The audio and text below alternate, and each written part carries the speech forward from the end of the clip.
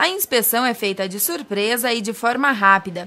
Os itens congelados são diferentes na avaliação dos peixes vendidos frescos. A gente tem que ver se ah, o corpo do, do peixe está firme, se ao afundar o dedo, o dedo não fica lá no produto, se os olhos estão brilhantes, se as guelras estão vermelhas, né?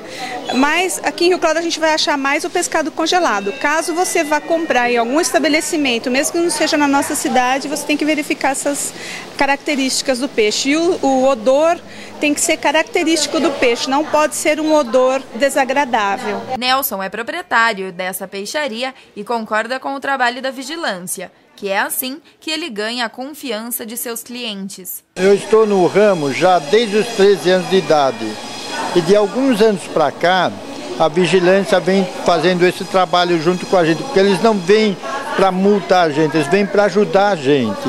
Em Rio Claro, não foi constatado nenhum problema na venda de peixes. Geralmente, os pescados comercializados em Rio Claro são congelados aí a segurança é maior porque esse produto já vem é, devidamente embalado, identificado com a sua origem, a procedência do produto. Então, em Rio Claro a gente tem mais o pescado congelado, mas mesmo o, o pescado que não é congelado, a gente tem verificado que eles têm procedência, então a gente não tem tido nenhuma intercorrência nas peixarias ou nos supermercados que vendem o peixe. A vigilância dando autorização a gente sabe que é o confiável lugar, né? Sem a vigilância passar e dar alvará, a gente sabe que não é um lugar certo para comprar, né?